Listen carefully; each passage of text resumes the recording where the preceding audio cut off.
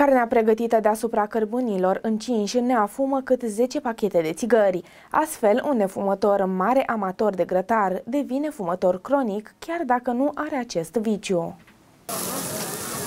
N-ai cum să treci pe lângă așa ceva. Nu ai cum să treci pe lângă așa ceva. Dacă treci înseamnă că n-ai bani. No, ți-a gura foc, tată. Ți-a gura foc, ajunge acasă paralizat, strâmb.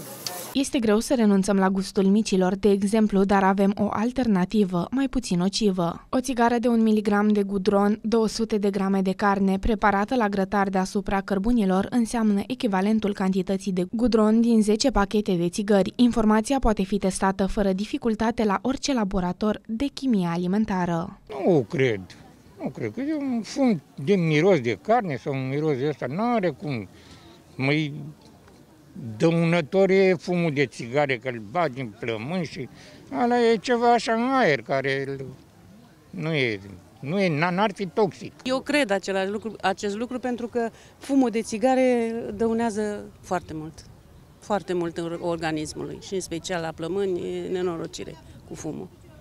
Da. Tot mai multă lume e dependentă de acest lucru. Și tot exact aveți dreptate. Tot mai multă lume nu, nu înțelege că acest uh, fum dăunează grav, grav sănătății noastre.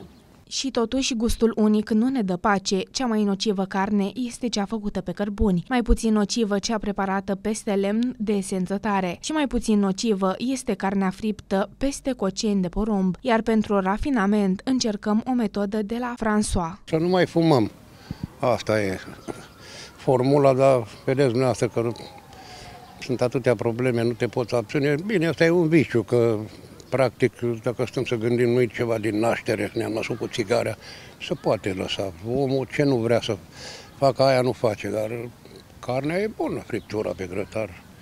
Tutunul nu-ți de acord nicio, deși fumez, dar nu. Studii de specialitate au descoperit o legătură directă între carnea gătită și riscul de a dezvolta diverse tipuri de cancer. Gătită la temperaturi foarte mari, carnea poate genera compuși care afectează ADN-ul și cresc riscul de cancer. Cea mai bună modalitate de a găti carnea este la temperaturi mici. Gătitul și coptul sunt de evitat grătarul de aragaz sau de cărbune.